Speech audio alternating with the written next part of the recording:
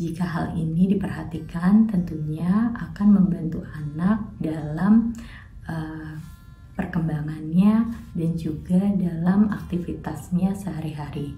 Yang kedua, untuk orang tua yang memiliki anak usia dini, Anda bisa mencoba untuk menyusun furniture atau tata ruang di rumah agar lebih uh, lapang. Anda bisa meletakkan furniture atau perabot Anda mendekati dinding sehingga menyisakan ruang uh, yang cukup lapang untuk anak-anak bermain uh, di ruangan uh, di rumah Anda.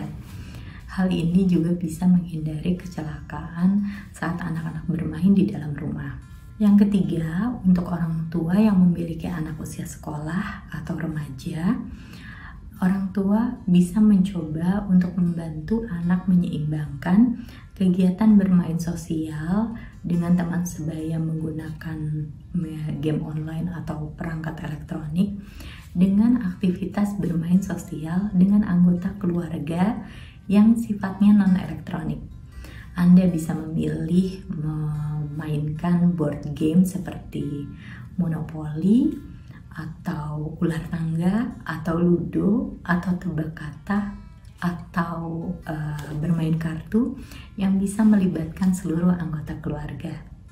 Yang keempat, dengan banyaknya paparan uh, dan penggunaan gadget, orang tua diharapkan bisa memberikan alternatif kegiatan yang menarik untuk anak mereka Misalnya untuk orang tua yang memiliki anak usia sekolah, Anda bisa merencanakan proyek uh, kegiatan yang menyenangkan buat anak dan Anda.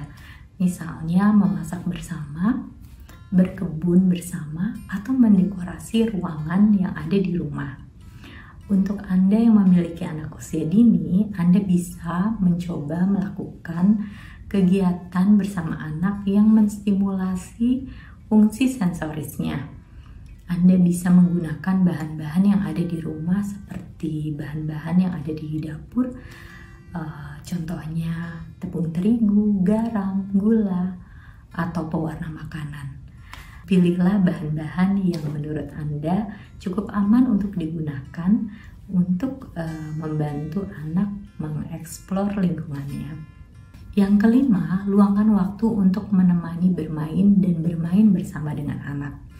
Hadirlah secara penuh di mana Anda hanya fokus pada kegiatan bermain bersama anak dan tidak memikirkan kegiatan yang lain. Hadirlah juga dengan cara yang menyenangkan, menghibur, dan mendukung saat anak membutuhkan dukungan Anda. Hal ini bisa menjadi kesempatan bagi Anda untuk menjalin ikatan emosi yang lebih dekat dengan anak. Selamat bermain!